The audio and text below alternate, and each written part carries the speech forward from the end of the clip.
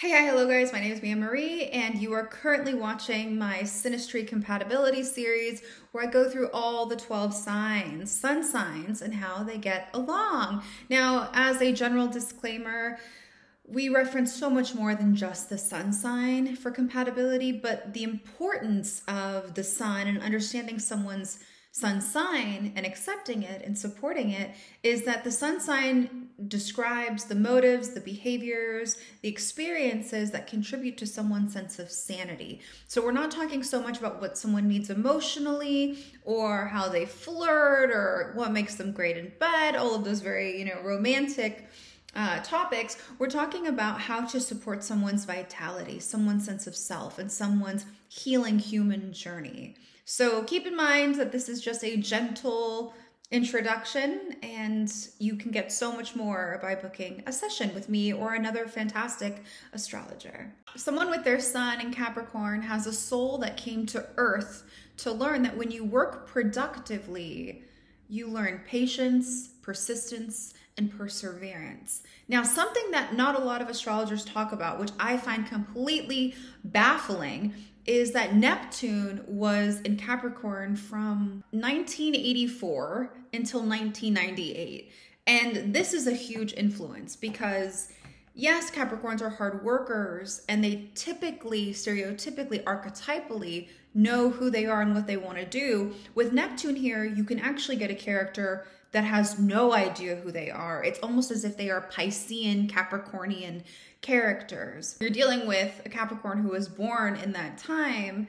You might notice that they have a hard time establishing an ego or seeing themselves clearly. There is this it's almost as if when you take a shower and the mirror is fogged and you try to look at yourself, you can't see yourself. That is the Capricorn with Neptune on the sun. So back to Capricorn energy. Capricorn is the third earth sign. It is the most mature. It takes the security and the competence from Taurus. It takes the systems that Virgo has created and it goes, okay, how do we turn this into a company? How do we sell this? How do we market this? How do we create revenue? How do we provide for the masses? It's a universally oriented sign.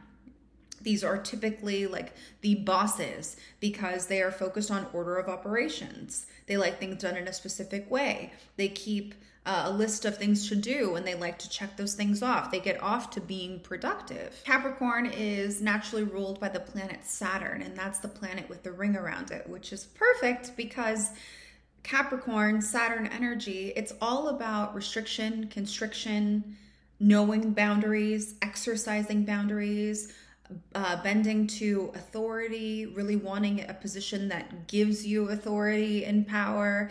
And so, oftentimes, what you'll find with these people is it's hard for them to play and have fun, to experience joy, because if you're playing around all day, you're not going to be as productive, right? It goes against their motive to be persistent and patient and to persevere against all odds. It's thinking the long haul. What are the decisions that I can make every single day that will turn my life into a legacy? What is my great work?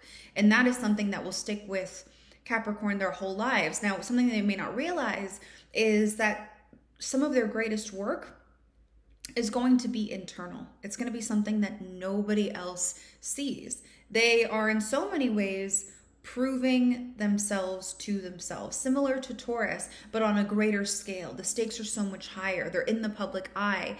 And along with that, they care a lot about how other people view them. They want to come off as professional and polished. They like their clothes like iron. They like they like neutrals or they uh they they just like to give the look like they are all about their business. And if they don't, you can tell depression has many correlations with Saturn energy or Capricorn energy. And so that's their default. And when they're depressed, it's their body trying to scream at them like this isn't working. This ego that that you are working to accomplish and as a preface or as a for clarification, I don't demonize the ego.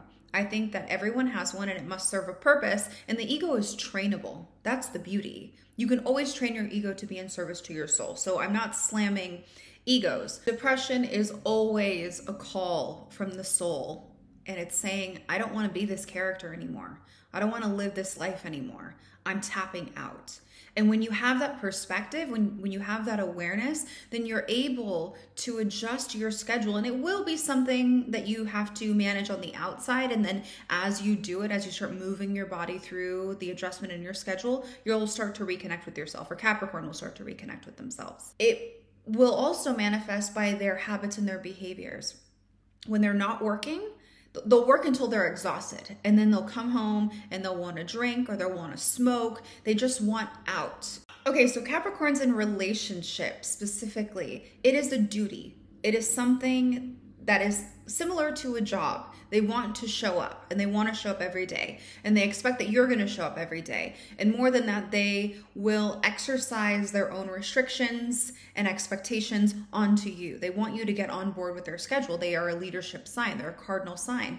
And so you will find that they really take you under their wing and they want you guys to excel together in my personal experience, I found that Capricorn does appreciate partnership, but it doesn't do the flings. It wants marriage, it wants kids, it wants the earthly representations of accomplishment. They are reliable, they are consistent, they are on top of it, they're on top of what you're doing, what you're not doing, what you should be doing, and they have an eye for things that are flawed, and they'll point it out to you. they can kind of have a more serious or stoic attitude towards life. And it's very matter of fact when you're with them. They have this dry quality to their personality that people can find endearing. Now, some deal breakers with Capricorn. If you are not thinking long term, if you don't want a serious relationship, if you don't want to be married or have children or buy a house or grow old together, that is a Capricorn thing then they will dismiss you quite quickly. They don't want to entertain games and they don't appreciate when you try and toy with them uh, because they will show up for you. They take life seriously and they take themselves seriously, which means they also take you seriously and they expect you to act as a mature, grown, and responsible adult at all times. Now, if you're someone who's a little bit more spontaneous, like for example, in my personal experience with Capricorn, I like to do things on a whim. I can't stand a plan. I like just putting myself out there and having a fun time watching where life takes me. If you have that type of an attitude, they are going to contract. They may get on board depending on their other placements, but there's something inside of them that gets nervous and they just they kind of like do this, you know, they, they, they, don't like it and they might judge you and they may call you impulsive. They don't appreciate impulsivity. They don't appreciate things that are done on a whim because it's not well thought out. You're not thinking of the consequences of your actions. What if you get lost? What if you run out of money? What if blah, blah, blah, blah, blah, blah. They're going to name all the cautionary things that you didn't think about as you're trying to bungee jump off of a cliff. Piggybacking on that, they are risk averse they don't like putting themselves in situations where they may fail because what does that show about them? What does that prove about them? That means that they aren't this authoritarian character or authoritative character, depending on whichever one they subscribe to high functioning, low functioning. Uh, they don't like to look stupid. They like to come off as someone who can manage the masses. And so they will avoid situations where there is a greater probability that they will fall on their face or they have a hard time surrendering to the unknown. And they will criticize you for putting yourself in that situation until they see that you have been successful. So, if you're someone who enjoys challenge, risk, and thrills, expect to have like a sit down conversation where it's like, they're the principal and you're the student and they're like listen to me. This is the rules. This is what we do. Another thing they won't appreciate is if you don't take your life seriously. If you are not accomplishing things on a daily basis or if you have nothing to prove for your day or your energy or your effort they like to show their person off they like to feel as if they have also won a prize. They are a prize, and so is their person. They like the power couple idea. And so if you, you know, are a little bit, if you're not as ambitious or if your ambitions don't yield material, again, representations of success and accomplishment, they're not going to gravitate towards you. But all in all, they're about their business. And if you are with them, then you are their business. So they're focused on the long term. They want commitment. They will show up for you. They will want to provide for you. They will want to make you feel like your relationship is stable and your home space is stable and you guys can do whatever you like because you have the funds in the bank. Someone who is born with their sun in Aquarius has a soul that came into this world to awaken our consciousness it's almost as if they have a different set of eyes than the rest of us. They see the world differently. And a lot of the time, stereotypical astrology is like, oh my God, you're trying to be different or you're trying to be unique. No, that's just the way that they see the world. And often it creates this immediate recognition that you don't fit anywhere. Aquarius doesn't fit in any specific space and it creates social anxiety. They don't know how to act. They don't know what to say. They don't know what to do. There is an ambivalence towards being around people because they don't quite, it doesn't compute in their head. Their minds are like computers.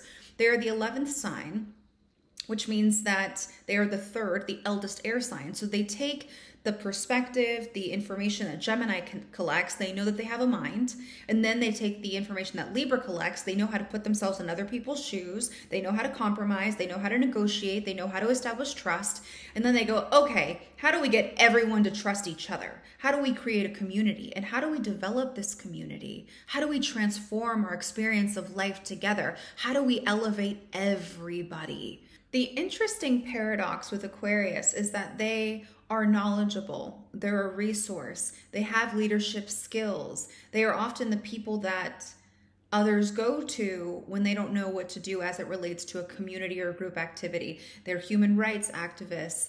They can find the gaps in structures. They know how to advance us in a very positive way, but they don't like being the center of attention.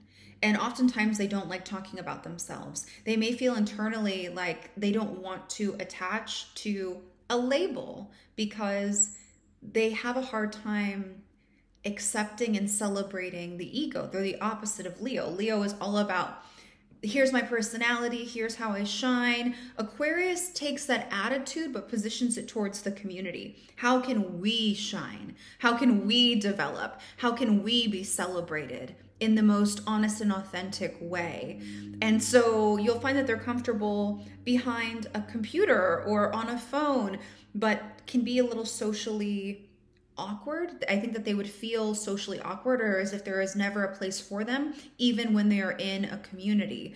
And this feeling can be uncomfortable for them at first. It can manifest as social anxiety, and they may even avoid social situations depending on where they are inside of their head but it serves a purpose. And that purpose is that you need to remain detached enough so that you can innovate, so that you can think your own thoughts, so that you can go off in your own direction. And oftentimes they're trailblazers, they're trendsetters. They are always 10 steps ahead of the community. And because they are also a fixed sign, they're stubborn, they are unmovable in that. They have to have a certain level of confidence in their ideas and opinions in order to say, no, I'm not going to conform. You are going to come here. And here's why you're going to come here. And this is how it benefits you. And this is how the human race is developing, whether you like it or not. They have this amazing ability to gaze into space and project a very clear image of a future that is totally within our capability. Like we can totally arrive to that space with them. I've said this and I will continue to say it that even though Aquarius is an air sign, it is very sensitive more sensitive than it realizes. And what happens when they're overstimulated is they become numb and they detach. This is the soul wound of someone who has strong Aquarius in their chart. Because things are always changing and because these changes affect so many people in so many negative ways that they feel equipped or responsible for repairing they will detach from the part of themselves that cares just to stay afloat, just to stay with the changes in culture and society. And so there is this robotic tone to them, or there can be just an obvious lack of emotion. You can be struggling with something and you can be crying in front of them and explaining all the which ways that you're heartbroken or let down, or, and just the opposite. You could be super happy about something and there's this robot before you, like, I understand their the way of loving is that they've often researched what you're going through and what's going on in your brain and how humans typically act and how to repair that specific thing. And so they're able to like spit back this report to solve your problem, but it can be hard for them to stay in the emotion or to sympathize with you. And it's not a reflection of how much they do or don't care about you. It's more so a reflection of their internal state of being. It's hard for them to access emotions. Surprisingly enough, however, they make excellent partners because they understand the Libra lesson of trust and compromise. But they also are not looking for something hot and fiery, you know, that flirty fling that Gemini wants. They want a friend they understand that if they are going to commit to something long term, they have to be with someone that they like.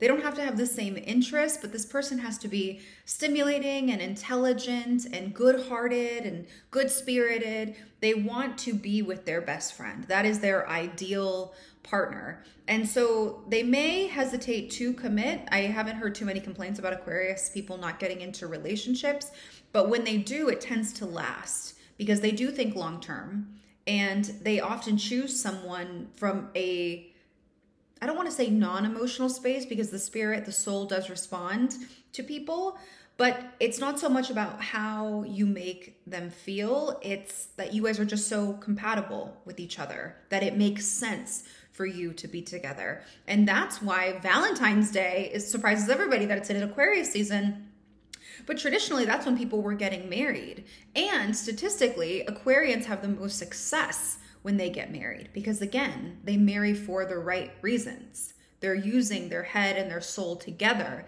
to make the judge, the judge, the just, the just call. Aquarius and love, they will want to talk to you. They'll want to know what you're thinking, what you've learned, what is stimulating you. They're going to have those late night conversations. They're going to be very present with you. And again, not super emotional about it, but they, they are wanting to collect data on you. They're, they're going to master you in one way, shape, and form. That's a kind of hidden quality to them is that they're constantly collecting data on you. So they can put it into their computer and they know what to expect and they know what you want and they know where you are mentally, emotionally.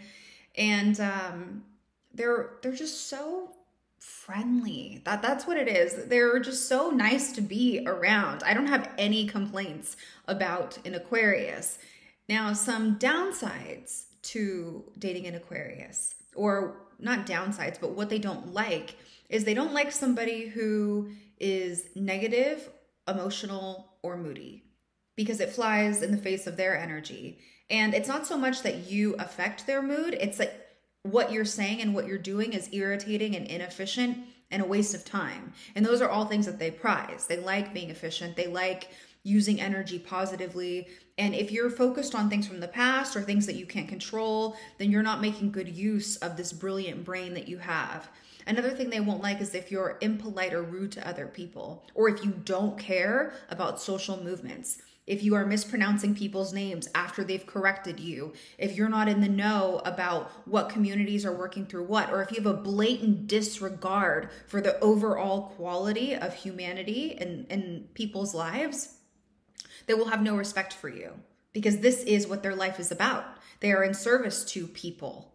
They are trying to break the minds, the structures that keep us bound and limited and trapped in a pastime. And so you embodying that energy, it's like, oh my God, no, you're the enemy, you're the foe. Aquarius is ruled by Saturn and Uranus. Uranus is the modern ruler, but Saturn is the traditional ruler. And so typically you have two types of Aquarius.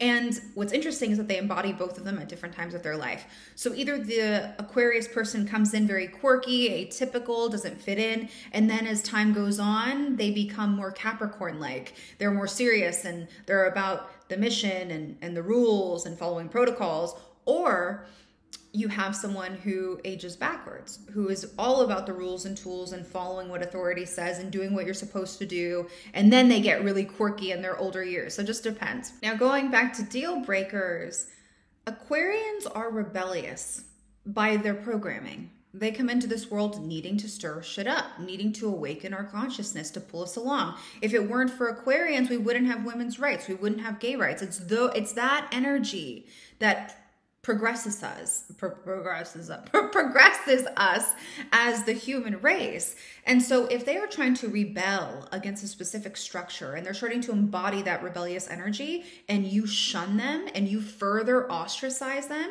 if you are not a friend or an ally in their development and experimentation they're they're going to want to leave you. Because they're stubborn. That's what they do. They dig their heels in. They won't be emotional about it. They won't yell at you. They won't raise their voice. They won't criticize you. They'll just sit you down and say you know this isn't working out. I don't think we're a good match. And they can do this because their passion is towards people groups social reform.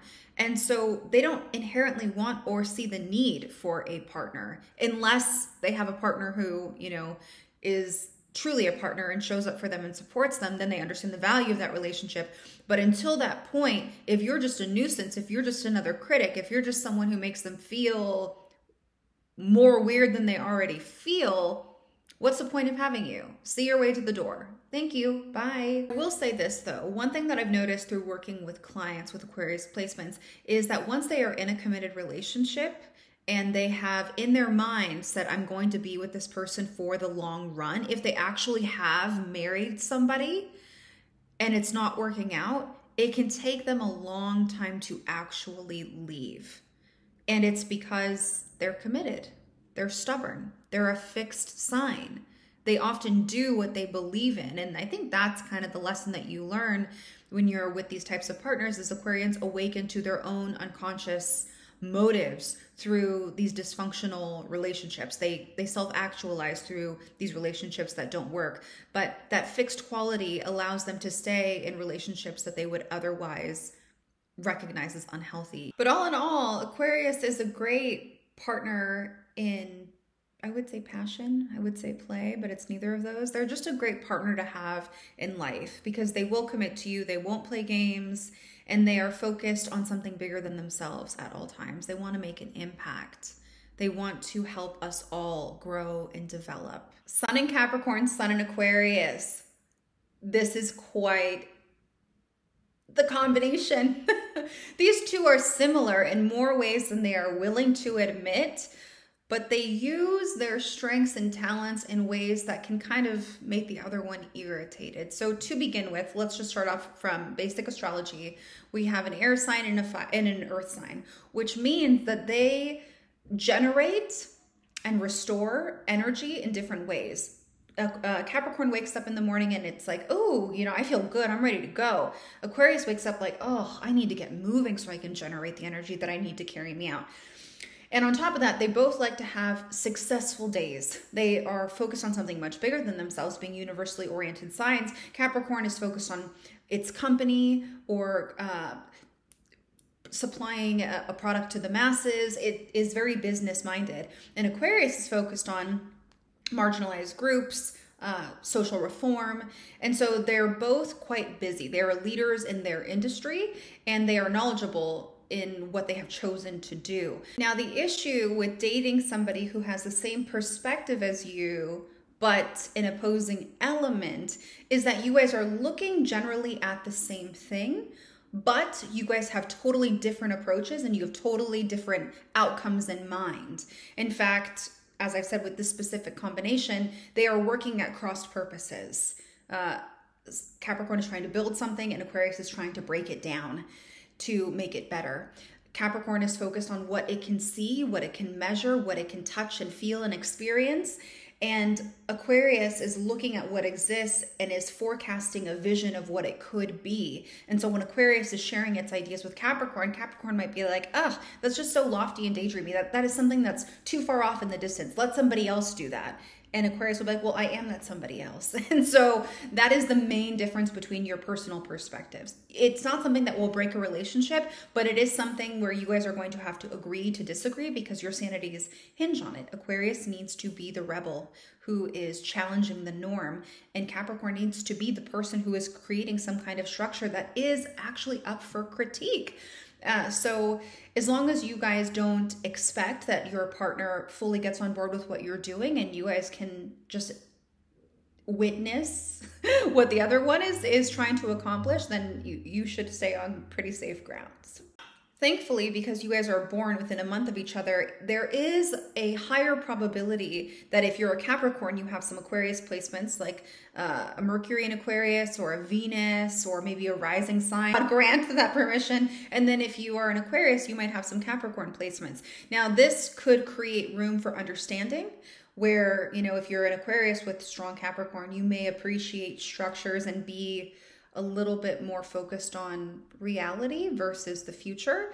Um, and so you guys might have some simpatico there. But again, we have two very strong personalities that are almost competitors in their field. And so when you are fighting so hard and, and, your vitality and your sanity is hinging on what you're contributing to the world at large, your life mission, your legacy, um, you can lead with ego and it can become a battle I've seen between these two of who knows more, who is smarter, who is better, who is a better leader. And, um, you know, the easiest way to address this is to recognize that you guys are both great at doing what you choose to do. It just so happens that you guys don't have the same goals. Uh, you guys don't have the same mission. And so accepting that straight away will assuage and it will prevent many different arguments. Now, the reason why we have some kind of conflict here, I mean, for one, if you guys are both busy all the time, it's easy for this relationship to take a back seat. Also, neither one of them are too emotional, and so the relationship itself might be seen as a duty or task that they are responsible for versus a relationship that needs like love, care, nurturing, and all that jazz where it gets interesting is that these signs are both ruled by Saturn uh, Capricorn is only ruled by Saturn, and Aquarius is ruled by Saturn and Uranus. And so here, Capricorn is has a deep respect for hierarchies, structures. It is often, you know, the key player in creating a structure that a, a company can function on, a, a country can function on. And Aquarius will take one look at everything that Capricorn is doing and go, mm, you have one fatal flaw, and here's what it is. And it's actually in the foundation of your structure. So everything has to go down.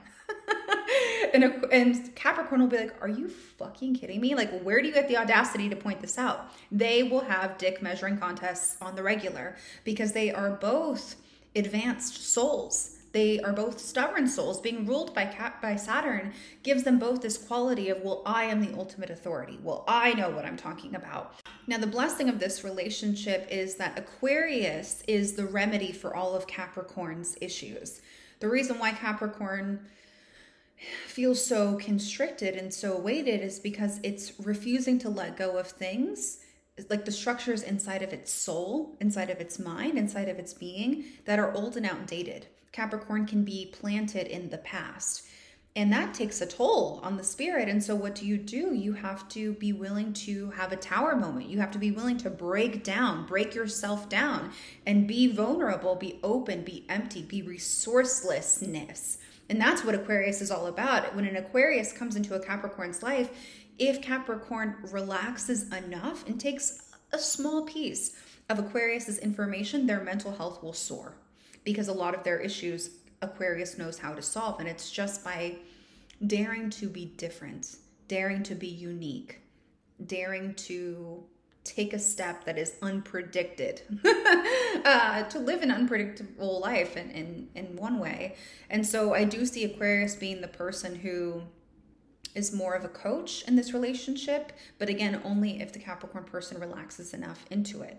Now, because each of these people take their public image quite seriously, or even if Aquarius doesn't take it, well, it does. these people take their public image quite seriously. They're working on something that they value and um, they're as I said, very good at what they do. And so when they walk into a room together, they will get the respect that they both deserve. Now, Aquarius is a little bit more quirky. And so it's not going to be wearing name brand things unless of course you have like a venus in capricorn then you are going to be all about like well i have this name brand. But just purely aquarius energy you don't look at, a, at an aquarius and say like oh wow you have tons of money honey. You would look at the capricorn and say that because you know they're they're wearing a tux and it's ironed and everything is perfect and straight and crisp uh, but the moment an Aquarius opens their mouth, it's like, oh, wow, you are way more intelligent than I initially thought. And I'm in the presence of an innovator, a visionary, somebody who is insanely intelligent. And so these people won't have any issues being respected by the, the groups that they're around. They may find themselves time and time again being the, the, the couple that people come to for advice or for help because they are so grounded and uh, reliable and successful. So they may find themselves again distracted from their relationship and more focused on what they can do for other people. So if you're in this combination, I would say please plan a date night. Capricorn, this is where you can shine. Like, okay, cool. On my schedule every Thursday. Thursday's a great date night. I mean, it's ruled by Jupiter. So like let's play and have fun, right? So every Thursday night, plan date night and because you're good at that. And then Aquarius, once it becomes habit, Aquarius will just carry it through. So even though Capricorn might be like, oh, I have this meeting, Aquarius will be like, nope, me and you. And then you guys can actually foster and nurture your, your relationship and partnership. So this is just one component of literally over 2,000. Love that sound. right on time.